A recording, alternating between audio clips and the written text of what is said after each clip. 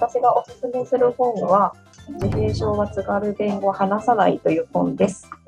こちらは、もともとはネットの記事でこちらのタイトルの記事を見かけて、えー、そんなことあるんだと思って興味を持ったっていうのがきっかけで、そのタイミングでちょうど本が出ていたことに気づいて、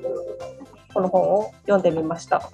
私はもともとどっちかというと小説とかを読むタイプなので、あんまりこういった自閉症についての本とか、そういう本はあまり読んだことがなかったんで、理解できるのかなと思いながら正直読んだんですけど、まあ、ちょっと難しいなと思うところはありましたが、その実験を重ねて重ねて、結果、津軽弁を話さない、まあ、方言を話さないっていうようになるんじゃないかっていうことが、だんだんだんだん理解できるようになって、えー、なんか